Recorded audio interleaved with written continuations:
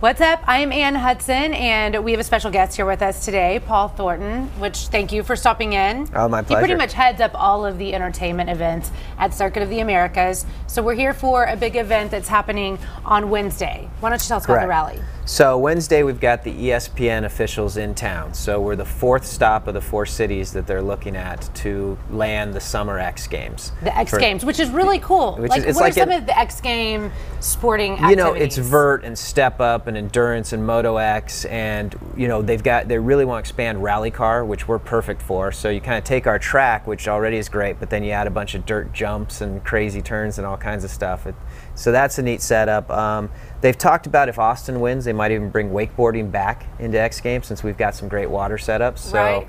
Um, y- you know, it's it's a big deal. The proposal process has been like trying to land the Olympics. It's been pretty Yeah. extreme, and we're down to us, Charlotte, Chicago, and Detroit. And I think uh, they're saving the best for last. So they're So coming this here would be huge for Austin as well if we got the X Games. Yeah. 2014. 2014 through 16. It's a three-year contract. Wow, so that would be amazing. So the whole point in the rally is to is to just build excitement. Part of what we pitched ESPN is that we want to take the X Games brand and create it into a whole festival. So literally like a weekend ticket where there's huge music in the amphitheater going on, actually even secondary and third stages, culture, film festival around it, lots of downtown happenings, kind of like we did with FanFest F1 kind of Right. feel. So they love that idea. So we just want to throw a party to show the city supportive, the state supportive. We've got the fan base here. So, you know, it's like a free giant block party on Wednesday night. So you are invited to come, and the rally gets started about 6:30 on Wednesday. Yep. And goes till about 10. 6:30 to 10. It's right in front of the Capitol. So right in front Okay, of the Capitol. Okay, we show Capitol up. What are we gonna get?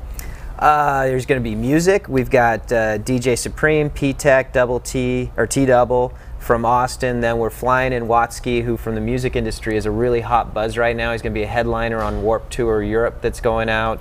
Um, so that's part of what we're trying to show in Austin. It's about fresh and new, not kind of old school, you know, past stuff, but who's Right. new, who's happening, how do we take X Games and build it even better. Right. Uh, we've got BMX guys coming down, skateboarders. We've got all the setups, a little street course setup, and then we've got lots of fun stuff to do. Um, we've got a foam party setup that we're bringing in. We've got you know the inflatable jousting and bouncing boxing, and I think we're even going to have a dodgeball tournament. I mean, just because that's part of the the feeling of what we're going to do with X Games if we land it here is not just be a spectator where you come and watch. It's about diving in. I mean, we'll have probably zip line and kart racing and all kinds of things that the fan does while they're at the festival. And so that's Right. what we kind of want to make the rally feel like too. Well, that'll be perfect. So on Wednesday night, 6:30, you can join in on the festivities. Their website.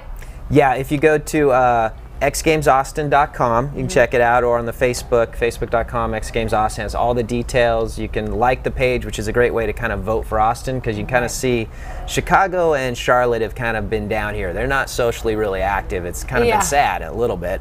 Um, so you get us in Detroit are battling for Facebook Right. likes and for votes, and all the press out there has really been kind of Detroit and Austin are going, you know, duking this thing out. Yeah. When are we gonna find out if we win?